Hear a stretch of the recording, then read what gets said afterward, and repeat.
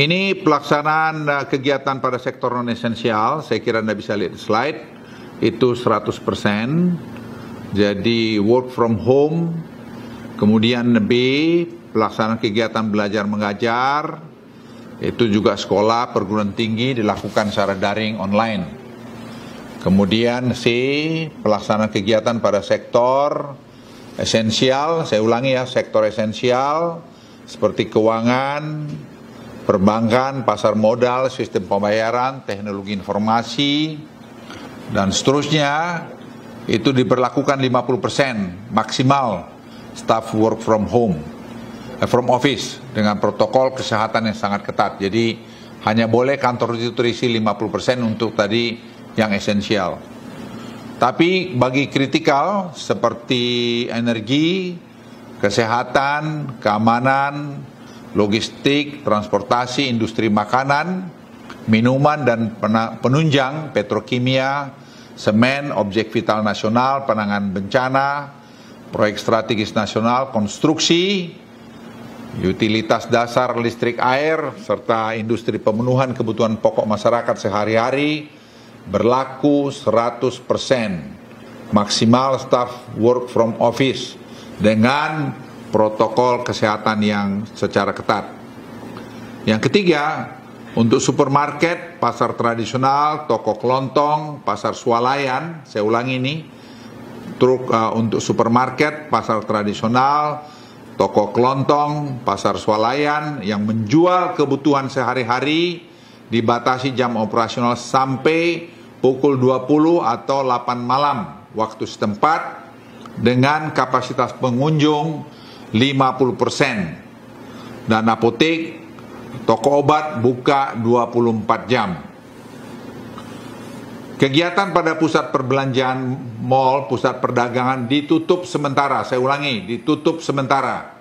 Jadi tidak ada mall yang buka selama sampai tanggal 20. Dan ini kita berharap dalam waktu itu kita bisa akan nurunkan ini sampai mungkin di bawah 10 ribu atau dekat 10 ribu. E. Pelaksanaan kegiatan makan minuman di tempat umum, warung makan, rumah makan, kafe, pedagang kaki lima, lapak jalan, jajanan, baik yang berada pada lokasi tersendiri maupun berlokasi pada pusat perbelanjaan mall, hanya menerima delivery take away dan tidak menerima makan di tempat atau dine in. F. Pelaksanaan kegiatan konstruksi Tempat konstruksi dan lokasi proyek beroperasi 100% dengan menerapkan protokol kesehatan secara lebih ketat. G.